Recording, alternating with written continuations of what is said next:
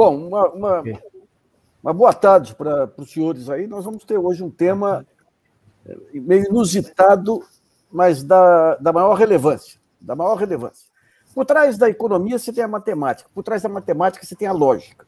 O que é a lógica? É um conjunto de, de princípios que define se determinada teoria tem é, consistência ou não tem consistência, e foi em cima da, da, da, da, lógica que tempos atrás se tentou criar essa teoria do equilíbrio geral do, do, do, mercado, deixar tudo por conta do mercado, você vai ter equilíbrio de preços. E, e alguns anos atrás, alguns anos atrás, nós tivemos, no final dos anos 90, esse princípio que gerou toda, digamos, todo o aparato teórico do, do, do mercado, do livre mercado e tudo, questionado por três grandes pensadores brasileiros que era o professor Nilton da Costa, um lógico, um professor de lógica de reputação internacional, o Francisco Antônio Doria, matemático e lógico também fantástico, que acabou, é, e junto com um, economista, brilhante economista, segundo eles relatam, Marcelo Suji, que trabalhava com o Delfim na época, e acabou largando a, a parte teórica aí. Isso aí acabou gerando um livro feito pelo professor Zé Carlos de Assis. O Zé Carlos é eu vou falar pessoalmente na cara dele o que eu penso dele aqui, porque o Zé Carlos é um, é um grande jornalista, virou um economista, mas com uma visão do que é relevante é, das novas ideias, mas muito, muito rica. E o Gabriel Galípolo, que é um economista que está tentando encontrar na lógica algum, sentido na, na, na, teoria econômica, que ele, é, do qual ele é um crítico também há muito tempo. Então, eu queria agradecer muito a, a participação do professor Nildo da Costa, do Antônio Bória, do Zé Carlos e do, do Gabriel aí. Eu, eu, vou começar com, com o Zé Carlos, que, que, que foi o autor do livro. O Zé Carlos, ele, ele, lá atrás, como, como jornalista, ele foi autor da mais relevante reportagem, que foi uma, um pé de cal, uma, pá de cal aí no militarismo, que foi as denúncias da CAPEM e tudo mais. Depois ele entrou para a economia e foi um pioneiro de vários temas que surgiram, inclusive a nova teoria monetária, a questão da, da economia funcional, a questão. E essa questão da, da, da lógica do, do mercado. Eu queria que você resumisse bem rapidamente como que você identificou esse grande feito e o que foi, como foi feito o livro. Olha, Nassif, em primeiro lugar, boa tarde para você e para os nossos. É com um prazer muito grande que eu estou aqui para essa conversa com vocês. É, eu fui, eu fui atraído pela lógica do Dória, porque eu tenho conhecimento há muito tempo, como economista, da questão do equilíbrio dos mercados. Né? Mas eu não sou um matemático, só não. Né? A minha, a minha conhecimento disso é um conhecimento praticamente literário, né? dos livros, dos livros comuns de economia. Eu me interessei por isso, sobretudo, pelo aspecto crítico. Né? Porque, você, você provavelmente sabe muito bem que um dos principais formuladores dessa. Eh, os austríacos, entre os austríacos formuladores dessa lógica matemática do equilíbrio de mercados, é o Hayek. E o Hayek é o cara que reintroduziu no domínio econômico e no domínio político a ideia do liberalismo e do sobretudo do neoliberalismo, porque ele é muito mais, foi muito mais radical do que os liberais anteriores. Os liberais anteriores, como Adam Smith, era um sujeito que tinha uma visão de mundo muito abrangente e não tem nada a ver com economista de mercado. Né? É com economista de mercado muito. Você pode até desculpá-lo pelo seguinte: ele, ele, ele numa época em que você tinha duas ditaduras no mundo complicadíssimas que levaram à guerra. Quer dizer, a uma delas arrastada pela guerra, que foi a Rússia, e outra que promoveu a guerra mundial, que é o, a Alemanha, a Alemanha nazista. Né? Então, ele tinha horror à questão do stalinismo, do hitlerismo, do autoritarismo extremado e tal. Ele misturou isso, a visão lógica dele com a visão é, política contra o autoritarismo, na ideia de que o mercado é que devia regular tudo, porque o mercado podia entrar em equilíbrio em si mesmo. Né? E, obviamente, isso é uma estupidez, dizer, não tem nenhum sentido isso. Quer dizer, ele se associou no, no campo da economia a Friedman, que por sua vez acrescentou dados da economia em cima desse pensamento central, e que deu nisso que deu, nos últimos 40 anos, o neoliberalismo avançando no mundo inteiro.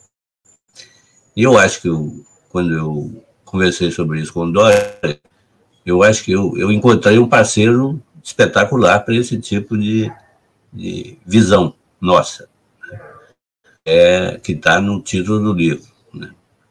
Então, o, basicamente foi isso, quer dizer, a nossa aproximação para escrever esse livro. Tá certo? Tá Eu, eu, eu, queria ver com, com, com, o professor Dória, então, como que foi, começou a se desenvolver, um pouquinho da, da história e da teoria dos jogos, professor, e como que começou esse questionamento aqui interno dos lógicos brasileiros? O problema que existia é um problema que durou 100 anos para ser resolvido, que é mostrar que um sistema competitivo, um, sistema, um mercado competitivo, possui sempre um equilíbrio, algum tipo de equilíbrio, alguma coisa que a gente possa caracterizar como equilíbrio.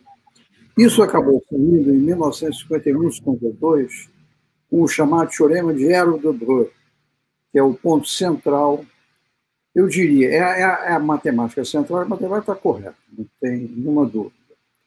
Mas é, ele é usado, digamos assim, ideologicamente é o ponto central das esperanças, não chamo aquilo de teoria, esperanças neoliberais, que são formuladas numa teoria que é a teoria econômica neoclássica. E, nesse meio tempo, Newton e eu estávamos trabalhando num outro problema de matemática, que é um problema que tem aplicações práticas, que é o problema de decisão para sistemas caóticos. O que é, que é isso? Você já deve ter ouvido falar em teoria do caos. Então, o problema que existia era, dadas as equações de um sistema, decidir arranjar um procedimento qualquer, uma maneira, uma conta, uma receita, pela qual a gente diria se um sistema vai entrar em comportamento caótico ou não. Isso é possível fazer? Newton e eu brincamos com isso uns cinco anos. E a resposta é sintetizada numa frase de um grande matemático americano que leu nosso trabalho, etc., e comentou, é Steve Smeyer. Não existe receita nenhuma, qualquer que seja a definição que a gente dê para caos. Isso caiu feito uma bomba porque significava que conhecer uma propriedade importante no sistema estava longe do alcance dos matemáticos, dos engenheiros, todo mundo que aplicava essa coisa. Aí nós fomos ver em que outras áreas se podia construir resultados semelhantes.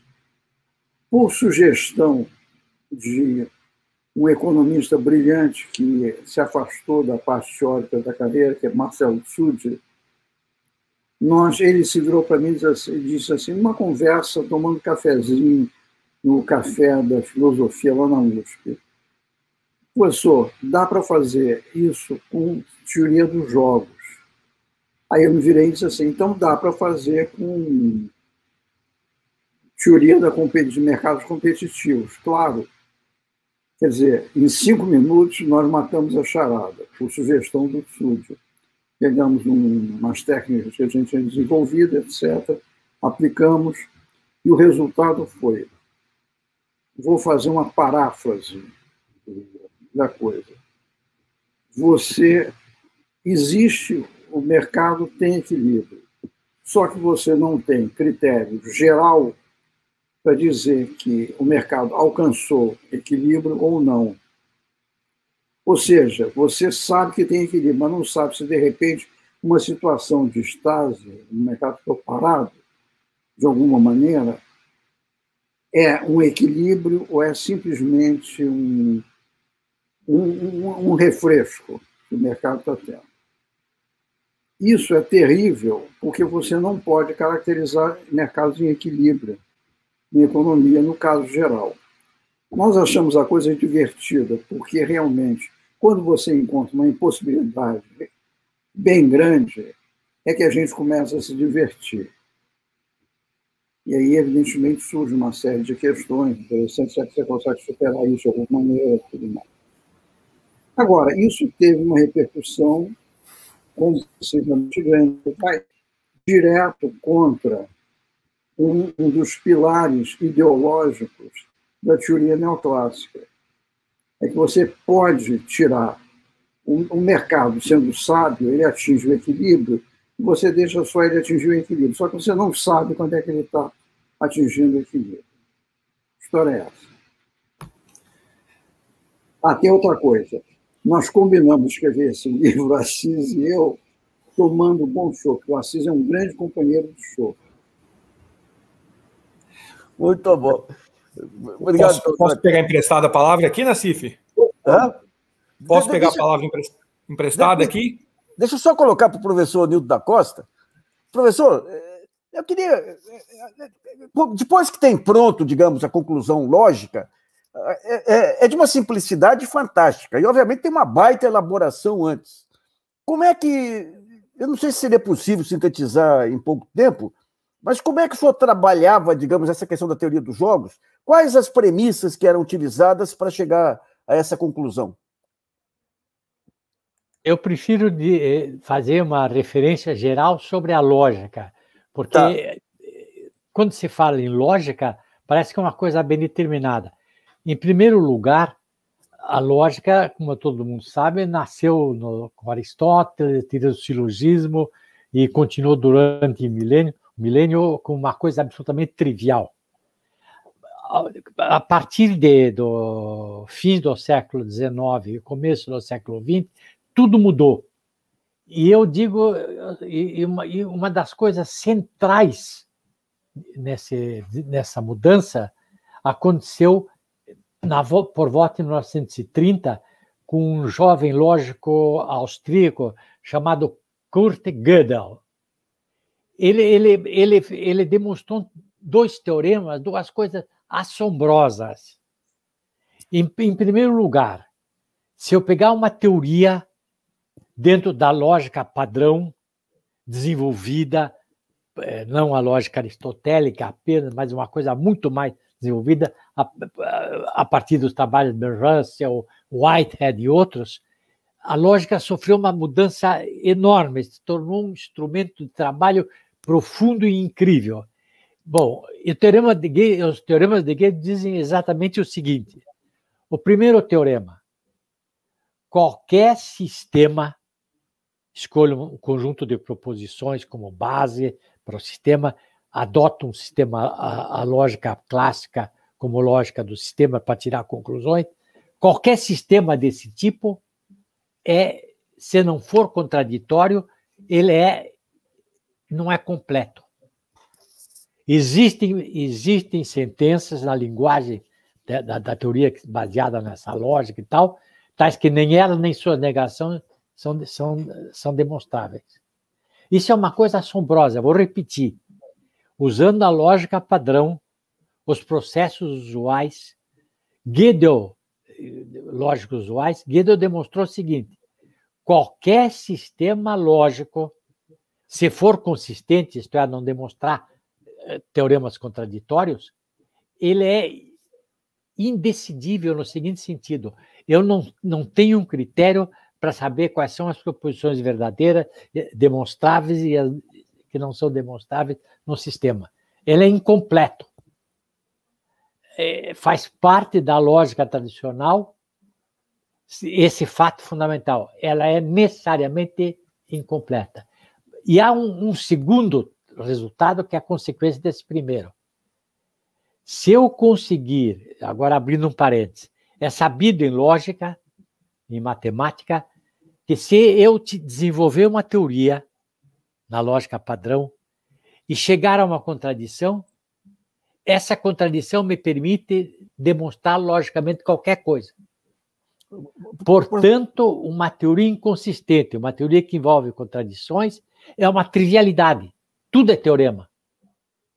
Pois bem, então é, seria absolutamente sensato que para as principais teorias da física, da matemática, da, da química, a gente provasse que elas são, são, consistentes, são consistentes. Porque se não conseguir provar que são consistentes, elas são absolutamente triviais.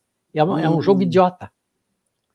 Pois bem, o segundo teorema de Gödel diz o seguinte: se a teoria que eu estiver considerando for tal que nela eu posso, não é uma coisa bem rigorosa, mas se nela eu posso falar da aritmética, posso fazer aritmética das quatro operações elementares, ela é necessariamente incompleta. Sempre haverá proposições, tais que nem elas, nem suas negações, sejam demonstráveis na teoria. Qualquer teoria que eu bole é uma teoria aberta, se ela não for consistente. Se, se, se ela for consistente. Se ela, se ela não for consistente, tudo é teorema. Então, esse é o retrato dado por Gödel. Quer dizer, as teorias, as teorias fortes, matemática da matemática padrão, as teorias fortes são necessariamente incompletas. Hum. A não ser que sejam triviais. Tudo demonstrável. E isso causou um rebuliço enorme na, na, na, na lógica e na, na própria concepção de lógica. Será, indo um passo adiante, se, existem outras lógicas, outras matemáticas infinitas, infinitas matemáticas, infinitas lógicas. Será que isso, esses teoremas, se aplicam a todas, as, todas elas? Na maior parte, sim. Então, a matemática, se ela quiser se basear na lógica padrão usual, ela é necessariamente incompleta, não posso demonstrar, a não ser que seja inconsistente, não, só posso demonstrar certas coisas, e tem coisas que eu não posso nem demonstrar, nem, nem provar que são falsas, nem que são verdadeiras, nem que são falsas. E segundo lugar, existem sentenças, propriedades da aritmética, vagabunda dos números inteiros, que eu não posso nem demonstrar que são verdadeiras, nem mostrar que são falsas nessa lógica. E isso, então, a partir dessa época, completando isso, foram sendo construídas vários tipos de lógica. Por que ficar só na lógica clássica? Deixa eu, deixa eu dar só um exemplo. Na mecânica quântica, padrão, usual, acontece uma coisa inacreditável. A lógica clássica não se aplica diretamente. Isso é uma coisa trivial, foi principalmente explorada pelos russos, mas a maior parte do. Ninguém, ninguém pensou nisso. A, a, a, lógica, a lógica padrão na mecânica quântica, ela se aplica. Eu, eu vou, vou estudar um tema. Esse tema eu limito bastante. Aplico a lógica clássica, funciona. Se eu não aplico a lógica clássica, não funciona. Se eu, se, eu, se, eu, se eu tento aplicar a lógica clássica sem delimitar inicialmente o que eu quero fazer, eu chego à contradição. Então, acontece hum. o seguinte: é uma coisa errada, de, e, e, eu fico surpre, surpreendido de que tanta gente ignora esse fato, que a lógica, mesmo na forma matemática, a la Gödel, a la Russell, a la Whitehead, não se aplica nem na mecânica quântica. Hum. É inacreditável isso, eu fico assombrado de como é possível um sujeito falar de lógica, pessoa de coisa, e ignorar as coisas mais simples de lógica. Hoje, que qualquer estudante de, de, de ginásio na Alemanha sabe. Então, terminando o que eu quero, coroando o que eu queria dizer, é preciso tomar muito cuidado quando hoje a pessoa fala de lógica.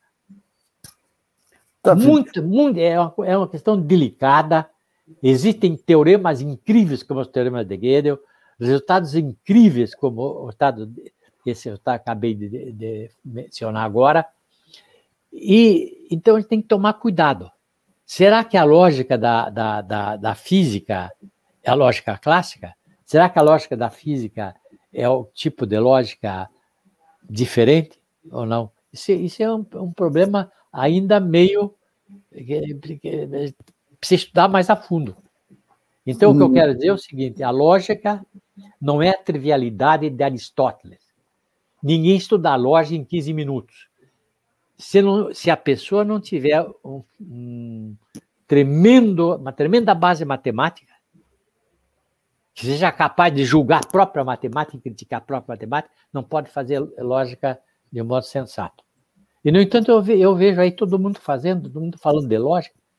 Eu fico, fico às vezes, meio surpreso, surpreendido, porque falam de coisa que não, que não bate. Não, o, que eles têm, o que eles imaginam que é lógica não tem nada a ver com a lógica padrão. Joia, Desculpem, joia. eu fugi um pouco do assunto, mas eu tinha que dizer isso. Obrigado. Maravilha, professor. Eu vou, eu vou passar a palavra ao Galip, depois eu queria que o senhor eh, detalhasse algumas, alguns casos simples para a gente entender esse negócio do o que, é, o que pode ser provado falso para ser verdadeiro, para ficar mais didático para os nossos ouvintes e para mim também, que não sou o especialista. Gabriel. É, eu, eu queria Primeiro, queria dizer que eu estou com dificuldade hoje de disfarçar a empolgação de estar aqui com vocês, professores. Primeiro, elogiar o Nacif. Precisa reunir um nível de espírito público e capacidade intelectual absurda para conseguir reunir intelectuais como vocês aqui, ainda mais no momento de tanto empobrecimento do debate. E eu queria dizer para quem está escutando que às vezes pode parecer que esse debate é um debate mais teórico ou coisa desse tipo, mas Hoje, eu acho que este programa de pesquisa é a coisa mais importante que existe para que a gente possa tomar consciência, enquanto sociedade, das nossas possibilidades de reformar a nossa condição. Exatamente. Porque, porque a economia se apoderou de uma ideia de naturalização ou de lógica inquestionável que afasta a possibilidade de crítica para impor, e o professor Newton Costa usou uma frase maravilhosa, assim, a lógica parece uma coisa bem determinada, para impor um determinismo à sociedade que afasta o espectro econômico do campo democrático, daquilo que é possível de ser criticado e ser feito. E eu vou ser aqui, o nosso querido professor Zé Carlos foi modesto ao dizer que era uma crítica ao, ao, à teoria do Nash, do equilíbrio, mas eu queria fazer o oposto do que foi feito com a geometria euclidiana pela teoria da relatividade. Eu quero generalizar a crítica de vocês e estender para todo o corpo econômico de pensamento. Porque a verdade é que a economia, a partir do momento, as ciências sociais como um todo, a partir do momento que o Locke vai se desenvolvendo ali contemporâneo ao Newton, incorporou essa ideia de naturalidade como uma recorrência estável, sempre igual. E aí ela entra pelo Hume, que vai fazer a, vai adotar o, o, o desafio do Newton na, em ótica de tentar aplicar aquilo na metafísica e vai dizer, meu querido, isso não é porque uma coisa aconteceu depois da outra que aquela coisa aconteceu por causa da outra. Vai despertar lá o Kant no, do, do sono dogmático dele, mas na economia o Smith vai tentar incorporar essa ideia de naturalidade enquanto uma recorrência estável, sempre igual, com a ideia do Mandeville, de vícios privados que geram virtudes públicas, que o Hayek vai dizer, que o professor Zé Carlos citou, como precursor da mão invisível.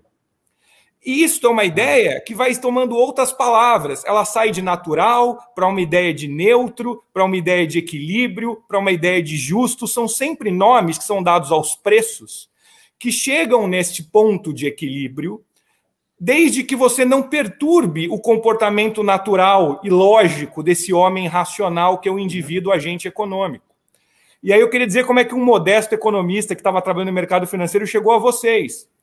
Toda a lógica foi salva e foi resgatada, especialmente é, é, a lógica econômica nesse sentido, especialmente de você colocar no indivíduo, numa lógica do indivíduo que está pela sua natureza, escolhendo como é que ele vai alocar os bens ali, numa utilidade marginal, no final do século XIX, ali, quando Darwin estava colocando a natureza na história, dizendo: olha, tem evolução, ela não é sempre igual, ela não é uma recorrência sempre igual, mas o Jevons, o Valraz e o Menger vão lá colocar e dizer o seguinte: não, é um sujeito Robson Crusoe, numa ilha.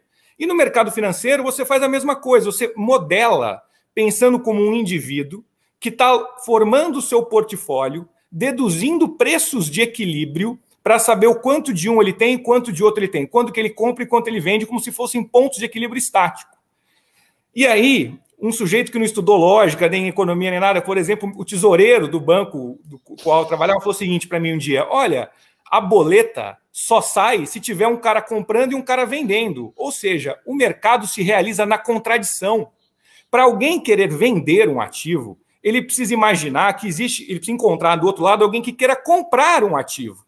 E não era aquilo para ir para um ponto estático de equilíbrio. Eu vendi porque eu acho que vai cair. E quem comprou, comprou porque acha que vai subir. São movimentos contrários que realizam o mercado. O mercado é algo que se realiza na contradição. E que ele tenta apresentar uma discurso, um discurso narrativo de como ele tivesse uma lógica exata do qual determina preços de equilíbrio. E aí a gente vê a vergonha que os vexames que os modelos econômicos passam sempre, porque é uma tentativa, que está muito bem explicada no livro de vocês, de determinar a si mesmo como se essa determinação fosse uma coisa exógena. É um estádio do espelho. Assim, é, é, o mercado é uma criança de três anos olhando para o espelho e querendo achar que é outro. Porque o mercado fica modelando os comportamentos do mercado do qual ele mesmo integra. Como você não consegue fazer uma separação formal entre o agente de mercado e o mercado, ele fica modelando como ele mesmo vai se comportar, como se fosse uma variável, uma determinação exógena, para, com esse discurso de uma, variação, uma, uma determinação exógena, afastar e dizer o seguinte: não há alternativa para vocês, não há caminho, a política econômica a ser feita é só essa. Qualquer coisa fora disso é antinatural, está fora, vai, vai desviar do equilíbrio, não é justo, está fora do neutro. Esta lógica é o que vem impedindo, vem se, vem se apresentando como uma interdição da economia, que é um tema central para a nossa sociedade, como aquilo que pode ser colocado dentro da esfera da política. E foi, e foi marginalizado. Então, eu sei que eu devia ter feito uma pergunta e não ter feito essa fala longa aqui, mas é que eu queria sublinhar a relevância que existe dos economistas se aproximarem do, da, da discussão e das contribuições se, se para usar a, a, a, expressão que foi usada pelo professor Newton da, da, da Costa sobre as colunas de Hércules, uma coluna fundamental desta reforma desta sociedade que a gente precisa fazer é a gente apresentar esta crítica, incorporando a contradição, dizendo que a economia não é uma naturalidade, uma normatividade externa inquestionável, e sim algo que precisa ser colocado e criticado e questionado. É isso que eu queria falar. Olha, é, completando o que está dizendo, talvez a lógica, sem dúvida nenhuma, seja paraconsistente, que é uma, a lógica que envolve contradições, não chuta exato, exato. não esconde. Exato. Que você desenvolveu, professor. Uhum. Sem microfone, Nassif, você está sem é. microfone. Eu queria que o professor Dória desse alguns exemplos de eh, verdades que tem que ter é, capacidade de identificar o falso e o verdadeiro para poder ser consistente. Está sem microfone, não, professor Francisco. Espera aí, não dá, eu não estou escutando. Não. É, o professor Francisco está com o microfone desligado. Já, já deve estar ligado. Agora sim. Tá. Nós estamos trabalhando, quer dizer, já acabamos, está tá com o editor, num livro que a gente acha que vai, teoricamente, é uma coisa que nós estamos preparando para ser de grande interesse. Chama-se Sobre o Sexto Problema de Hilbert. Nós já temos contrato assinado com uma editora americana, que deve tirar esse vírus. Dora, desculpe interromper. Acabei de receber um e-mail do Tsuji que já foi aprovado o livro e que simplesmente agora vão, estão vendo qual é a época que vai ser publicado. Maravilha! Presentão! Vai sair pela Springer, Springer Nature, que é uma fusão da editora Springer alemã com a Nature, que publica aquela grande revista científica. Bom, tudo bem. Nesse livro, o que é que a gente faz? A gente pega a xepa dos trabalhos que a gente fez.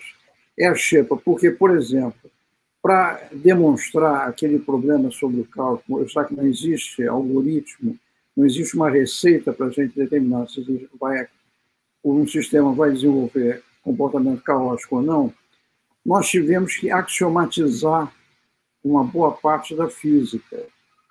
Isso foi feito, a, a gente resolveu, num caso particular, um problema proposto em 1900, chamado Sexto Problema de Hilbert.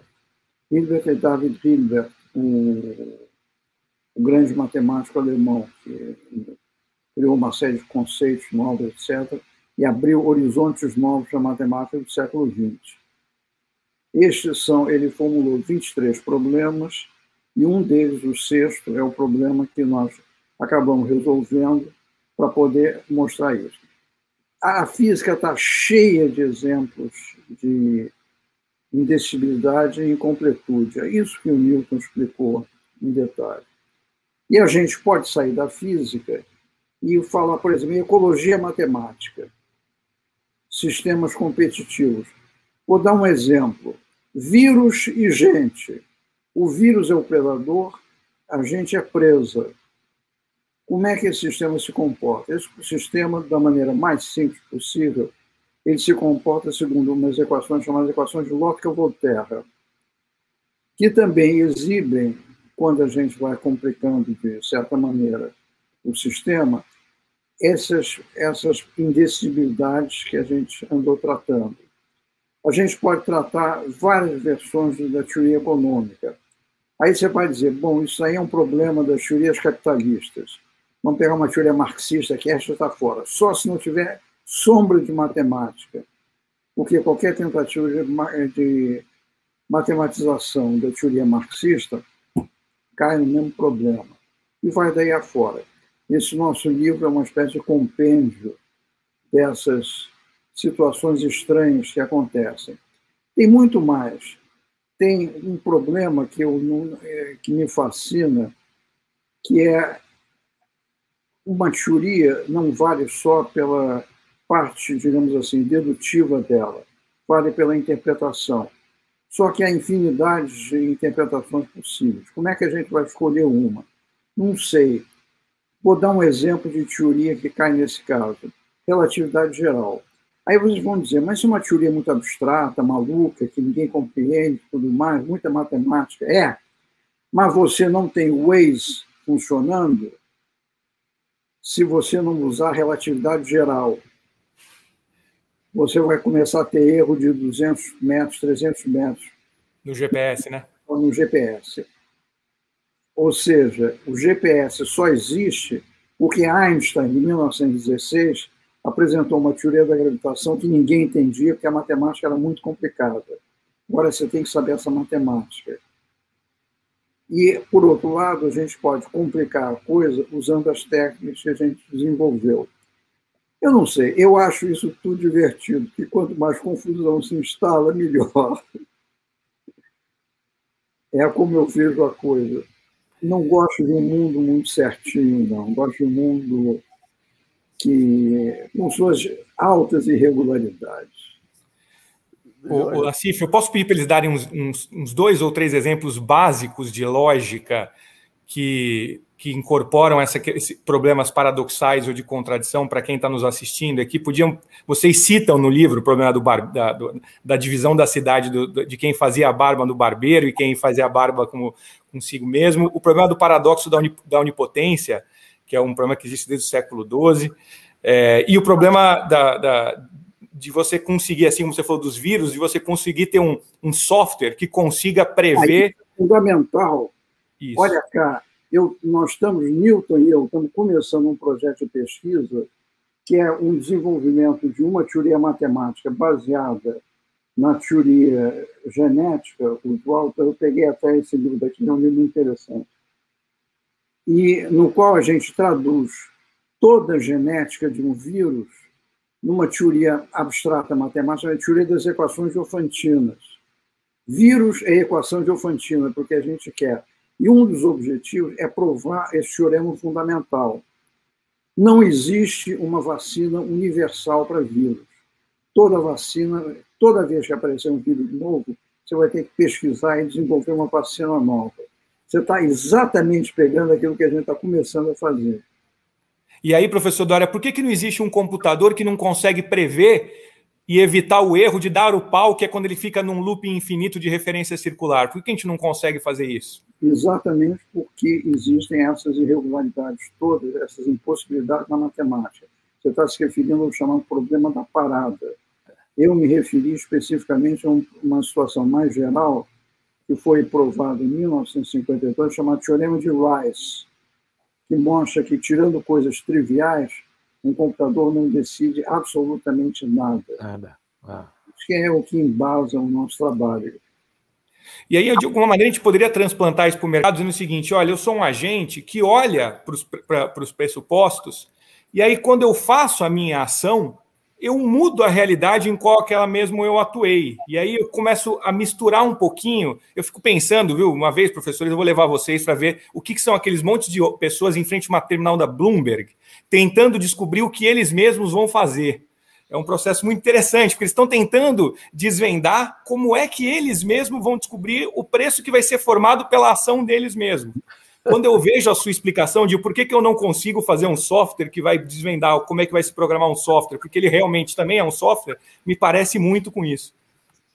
É o que poeticamente se chama de cisne negro, Black Swan. É impossível detectar Black Swan e você também não consegue evitar. São as irregularidades que te surpreendem no meio do mercado. Eu antes, eu, isso aí, na, na, na não sabe, acho que nem Newton sabe, mas eu trabalhei no mercado antes de passar, antes de fazer pós-graduação, etc., antes de virar matemático teórico. E fiquei fascinado pelas impossibilidades que o mercado exibia. Sobretudo essa questão do Black Swan, que eu intuía, e depois foi formulado pelo Najib Taleb em 2008, 2009, né? Isso.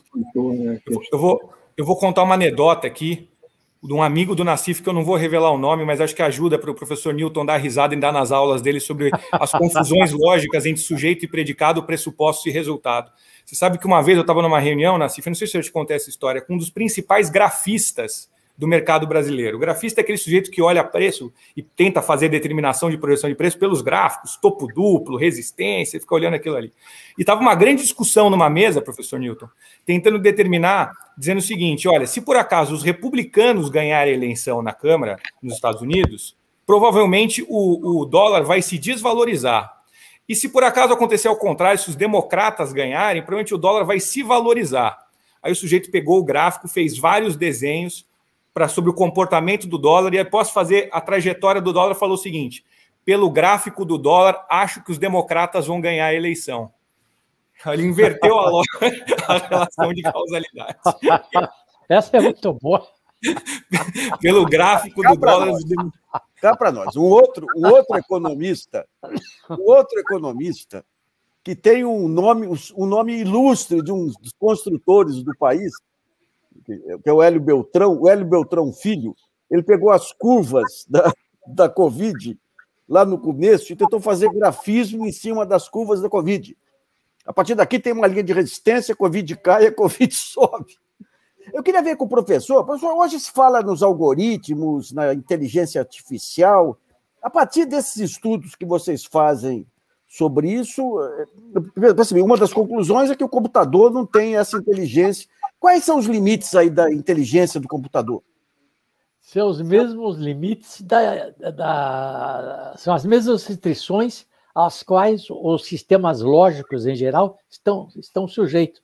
Quer dizer, o, o, dado qualquer, qualquer computador que não seja que esteja funcionando de modo sensato, eu posso achar um problema que ele, o computador não resolve. Ele não pode resolver tudo. Isso equivaleria a, a dizer uma teoria matemática que, que, que envolvesse tudo. O paradoxo de Russell está lá. O conjunto de todos os conjuntos que não se pertencem a si mesmo, pertence a si mesmo, sem somente ser, não se pertencer. É fácil ver que você prova isso. Então, se, se uma teoria for muito desenvolvida, automaticamente ela estoura. Não dá. Então, ela tem que ter, estar sempre com o cabelo bem cortadinho, não existe cabelo tipo grego que o pode fazer coisas incríveis é, com qualquer teoria. Toda teoria tem limitações absolutamente incríveis. Agora, se a lógica clássica for a lógica em consideração, se, se eu quiser outro tipo, existe para outros tipos de lógica, se pode fugir em parte dessas limitações. Mas parece que isso é uma coisa fundamental. O cérebro humano não consegue elaborar um sistema lógico que não esteja sujeito a restrições inacreditavelmente fortes. Então, eu, eu, eu, eu queria entender uma coisa no sistema humano, que é chamada intuição. Até foi, se eu não me engano, foi o, o aquele enxadrista, o, o, campeão mundial aí de, que enfrentou, enfrentou um computador. Ele dizia o seguinte: eu tenho aqui um conjunto de alternativas e eu escolho uma alternativa. Essa alternativa, o pessoal chama de intuição. Mas por trás daquela intuição tem um conjunto de conhecimentos. Você tem algum, alguns cientistas que andaram desenvolvendo uma teoria na Itália, neuromagna, que diz que a natureza humana também emitiria energia e tudo, então um tipo de conhecimento pode estar presente em vários locais e a pessoa trabalha aquele conhecimento como se fosse intuição, sem. É, fica parecendo que é palpite. Ele, ele coloca nisso o analista político, que consegue interpretar estatística, coloca o, o, o médium nisso. Como é que o cérebro humano e, e trabalha com esse tipo de, de, de, intuição, professor? Eu acho que, na verdade, eu, não só ser humano, mas deixamos de lado é, é, falar de cérebro, qualquer teoria que eu queira desenvolver muito forte, dependendo da lógica que eu uso, ela automaticamente colapsa. Não é possível. Aliás, é, é, se for me permitido, deixa eu só dizer uma coisa. A mecânica quântica, por exemplo, a mecânica padrão usual, essa mecânica quântica a gente podia, podia dizer o seguinte: em qualquer problema quântico, um átomo de hidrogênio a, a, é, golpeia um sistema físico lá, etc. Qualquer, ele resolve qualquer, qualquer problema desse, pelo menos aproximadamente. Isso é falso. A mecânica quântica chama-se isso o teorema de Cauchy-Specker. Se eu quiser resolver um problema em mecânica quântica padrão, eu tenho que delimitar uma parte do universo possível, dos valores que essas grandezas podem assumir, etc., etc., que, que aparece no problema, para então localmente resolver. Não existe leis dentro da mecânica quântica que abranjam, abranjam todos os sistemas quânticos possíveis. Mesmo se eu pegar o átomo de hidrogênio sozinho e querer fazer um sistema, que é um sistema, formular um sistema, que é uma, uma coisa absolutamente trivial quase. Não dá.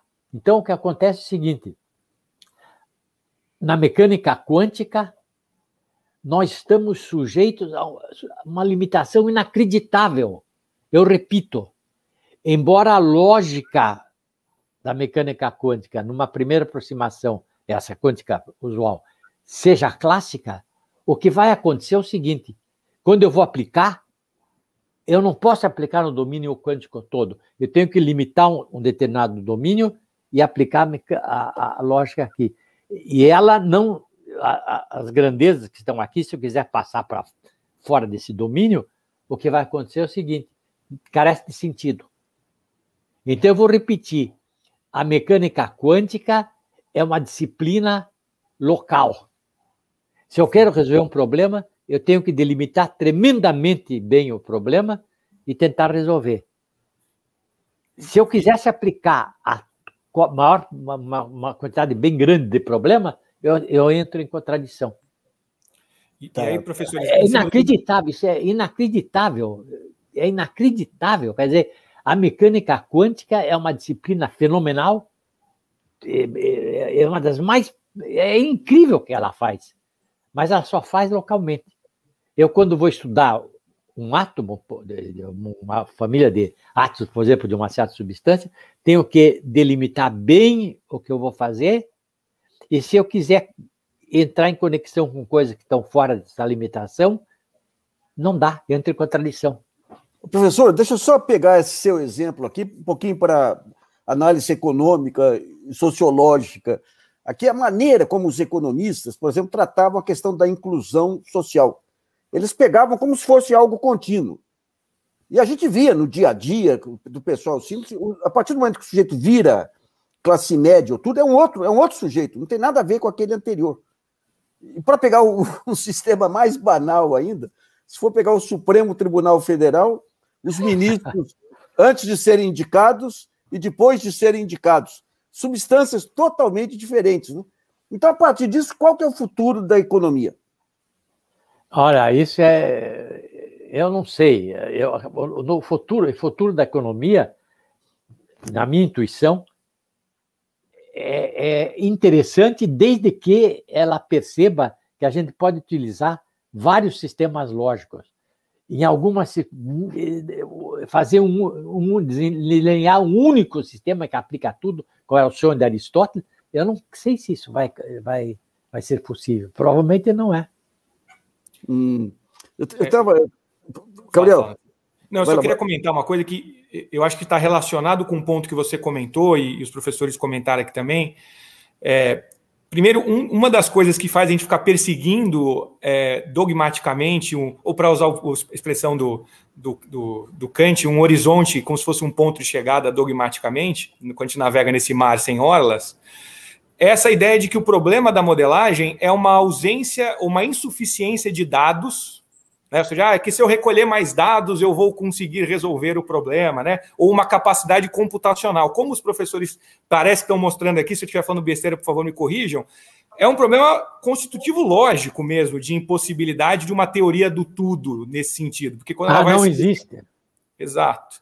E, e, e, aí, o, o ponto para a economia, que me parece, é a gente. É um problema que não é só para a economia, mas para o ser humano, quando o professor Nildo da Costa, imagina o quanto ele deve estar cansado disso, e a gente na economia está cansado, Nassif, imagina ele discutindo lógica, de como o ser humano é facilmente sequestrado, apreendido por determinações é, exógenas, alienadas, porque isso é um sossego, isso é um repouso para esse movimento. O que os professores estão mostrando é o, o, a, a, indeterminação gera angústia, não é pelo vazio, não é pelo resultado nulo, é pelo infinito. É porque ela entra num loop infinito ali de, de, de, de determinações. Isso gera uma angústia tremenda, que só encontra repouso na negação do próprio movimento. Quando ele vai lá e fala assim: bom, me, me alienei minha determinação, coloquei uma coisa exógena. A gente precisa ter a maturidade enquanto sociedade, especialmente como economistas, de reconhecer essa incapacidade de não ter um modelo que é uma verdade absoluta, dogmática, que chega e impõe e fala é isto que nós temos que seguir, essa regrinha do bolo e todo mundo vai ser feliz.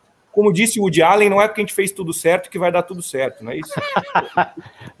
Nassif, Nassif, Nassif, eu, eu queria fazer uma observação aí, Nassif, porque eu vou ter que daqui a pouco sair, porque eu estou com outro compromisso, e eu estou entusiasmado com esse debate, porque eu acho que nós estamos fazendo, nós estamos completando uma coisa que estava faltando, e que eu tenho procurado muitas vezes, quer dizer, é as linguagens, quer dizer, qual é a linguagem psicofilosófica para você, amigo?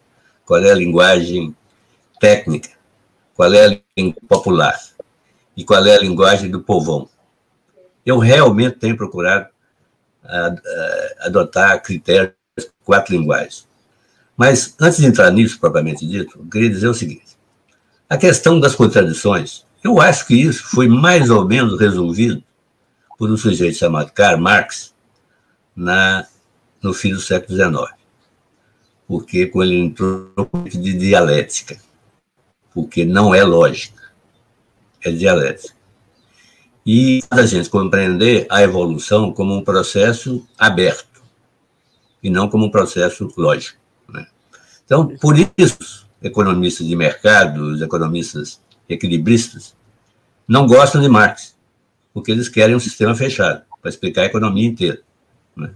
Então, esse só para pegar um exemplo absolutamente banal, hoje a manchete, o editorial do Estadão, o Estadão defende lei do teto, defende corte de políticas sociais, defende fim de políticas sociais, defende fim de investimentos públicos, e hoje ele faz um editorial seguinte: se não cuidarmos de dar oportunidade para os 14 milhões, 15 milhões de jovens aí, o Brasil vai matar o seu futuro. Ou seja, há uma de relação causa e efeito aí. Mas o Dória estava querendo falar, Dória?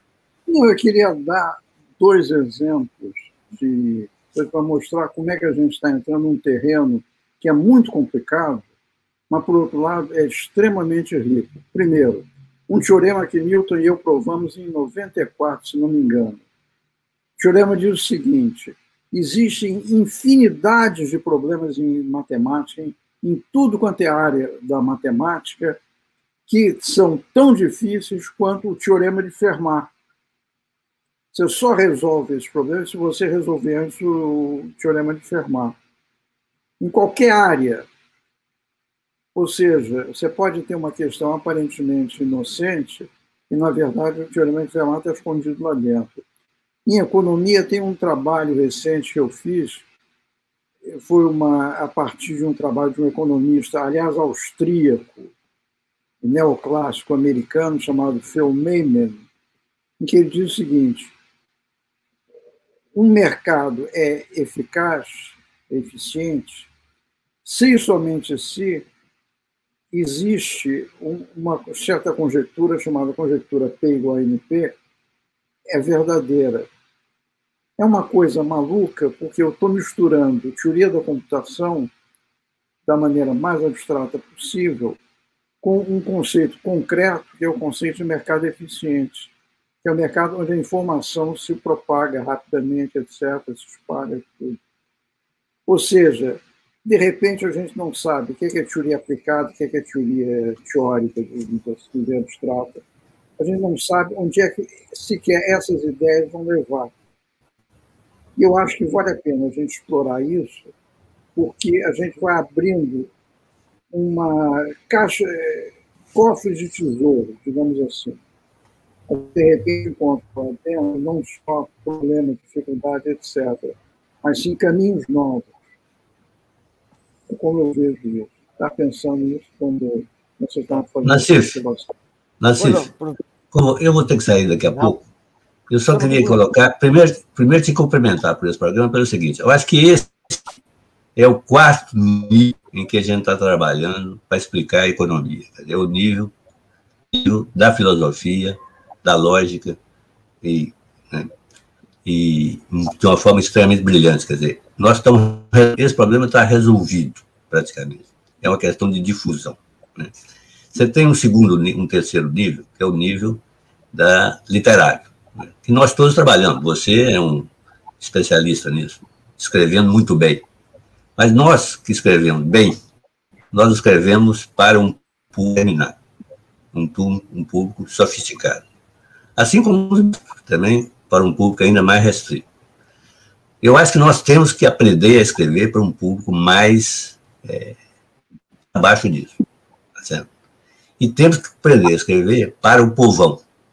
Eu estou tentando fazer isso com, criando uma fábula chamada Quanto Era Puro.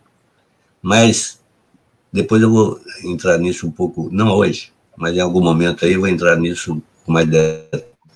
Mas tem ao povo.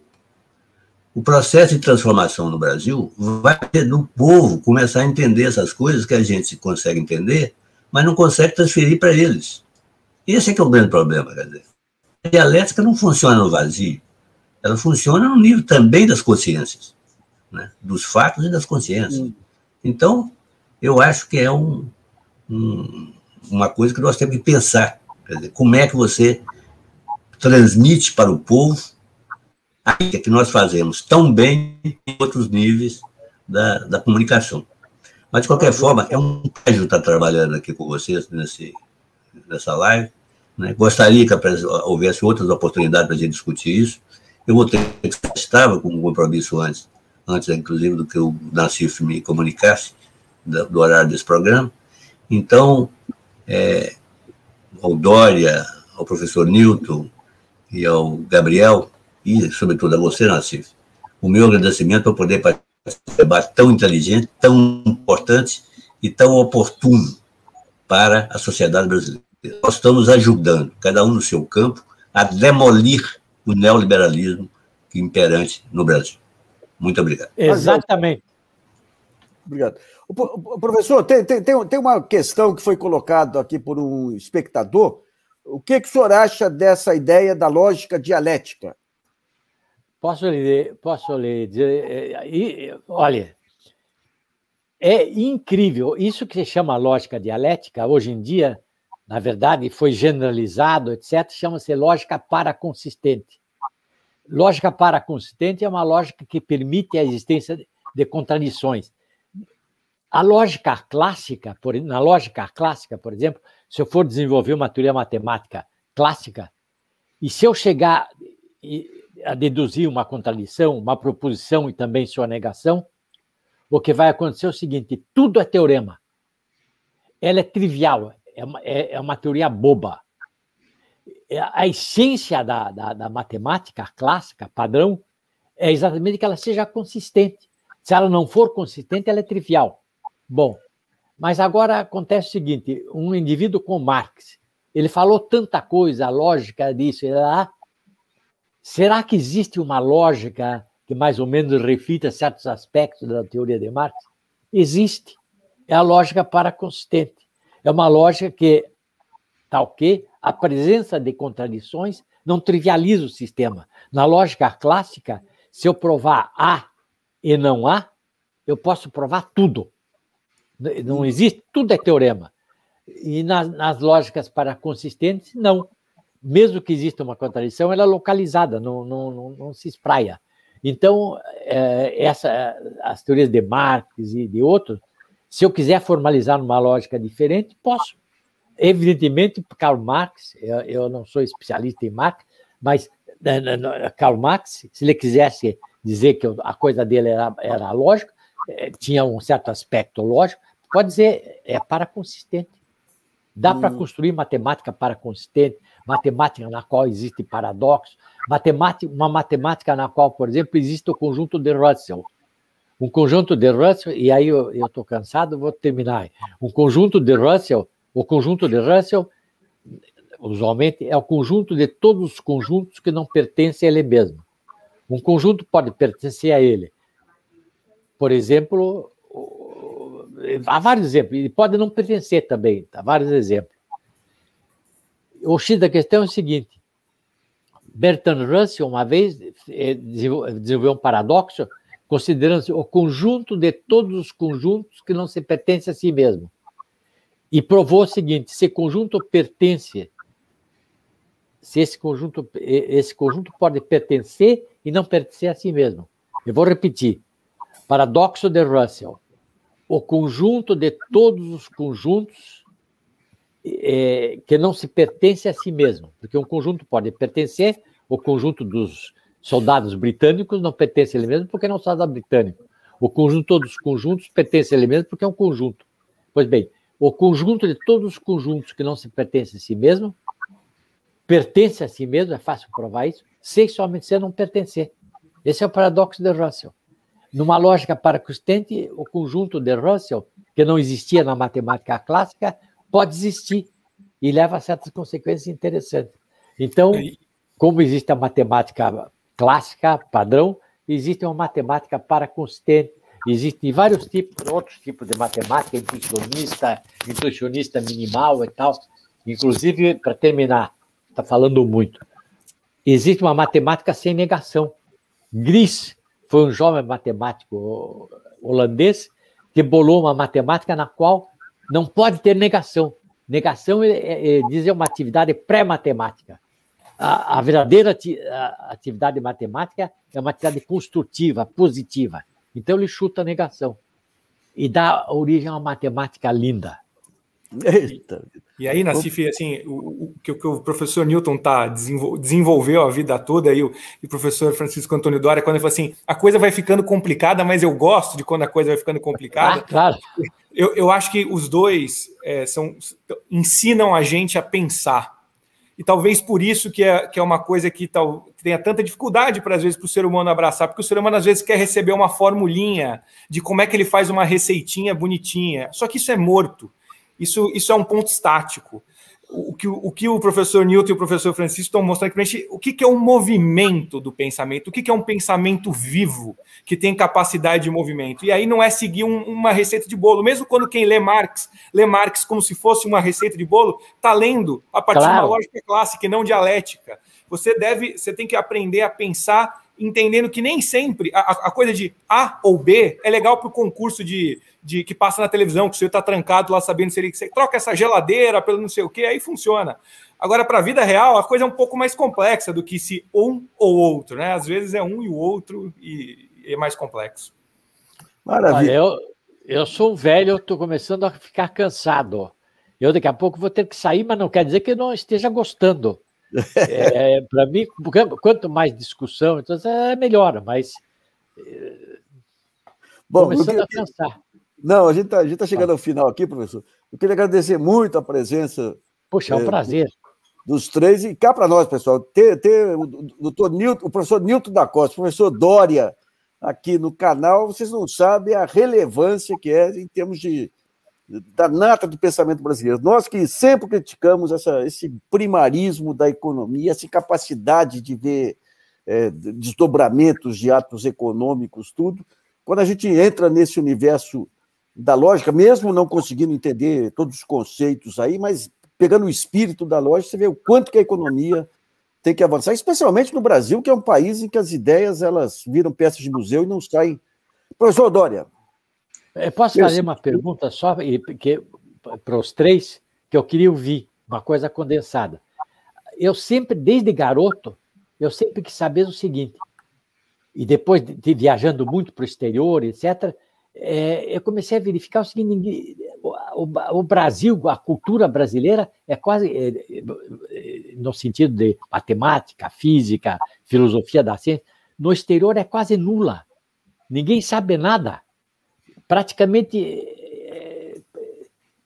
90% é, dos nossos é, intelectuais não conseguem publicar numa revista no exterior, numa revista em inglês, nem no Comrani da Academia de Ciências da França. Hum. Pois bem, então eu pergunto o seguinte: o que há com a cultura brasileira, com a eh, capacidade de pensar originalmente brasileira? Existe isso ou não existe? Eu quero ouvir só as suas respostas. Professor, rapidamente. eu tenho, eu tenho um, um guru chamado Manuel Bonfim. Manuel Bonfim ele foi um, era um psicólogo, biólogo, um historiador do começo do século. Ele escreveu um livro chamado América Latina, Males de Origem. Ele não era um especialista. Ele era uma pessoa que pegava as ideias e dava e conseguia ver de forma moderna. Ele conseguia ver, ele, ele derrubou as teorias raciais lá, derrubou uh, as principais teorias sobre o subdesenvolvimento brasileiro, entendeu o golpe do encilhamento e tudo, e ele foi amaldiçoado pela inteligência brasileira. Silvio Romero, porque ele, ele era muito moderno. E ele ia contra, contra as igrejinhas que se formavam lá e tentava demolir as igrejinhas. Ele foi. É, Silvio Romero era contra todo mundo. Pois é. Daí ele foi, ele, ele, ele, apareceu num livro dos anos 90, o Darcy Ribeiro entendeu, porque ele sempre viu o desenvolvimento como uma coisa integrada, cultural, conceito de nação, conceito. Mas o Brasil é o cemitério das ideias modernas, eu acho, professor. Mas por quê? Deixa eu fazer uma observação. Ele foi retratado em Tenda dos Milagres, de Jorge Amado. Ele é um dos personagens centrais, Manuel Bonfim. É, olha só, não sabia disso. Pois é, mas está lá. Que aquilo dali é tudo baseado em gente que existiu. O Nilo Argolo, que é o bandido, é um era um baiano chamado Petion de Villars, que usava o pseudônimo francês, Petion de Villars só escrevia em francês e em alemão. E tem o, digamos, o que se opõe a ele, e acaba derrotado nos embates acadêmicos, é o que representa o Manuel Confim. Que coisa, né? É a estratificação social brasileira e a incapacidade de. o receio que você tem parte dessa elite intelectual e financeira de qualquer mudança que possa ocorrer? Opa. Gente, isso. É. pensamento. A verdade é essa. Nassif, muito obrigado. Grande abraço aí, Dora. Conhecer. Prazer foi todo meu, professor. Foi uma honra poder estar aqui numa mesa com você. Agradeço ao Nacif, que só o Nacif é capaz de produzir essas coisas. Falando do que aconteceu com o Brasil ou não, mas o Brasil produziu gente que nem vocês, que são outro tipo de gente, outro tipo de gente. Produziu, por exemplo, Padre Vieira. Vocês estavam falando, nós já tivemos gente de primeira classe no mundo. Padre e o Dória agora, então? E agora o Newton, né, o cara? O Dória foi embora? Não, está aqui, está aqui. Mas eu não estou vendo nada a cara dele aqui. Ué, tá, eu estou vendo aqui, professor. É, pois é. Fala aí, Dória. Agora vem a resposta de você, vamos ver. Pois é, tudo bem. Milton um grande sujeito. Então tá eu fui por ele da sarjeta científica. Maravilha. Bom, eu queria então, mais uma vez agradecer ao, ao Nilton Costa, ao Dória e ao Gabriel Galípolo aí E esse programa é para aguardar, para assistir várias vezes, até para absorver todo, todos os conceitos que foram colocados. Viu? Um grande abraço, então, a todos aí. Um abração, tudo de bom. Obrigado. Um abração, professores. Obrigado, Nassif.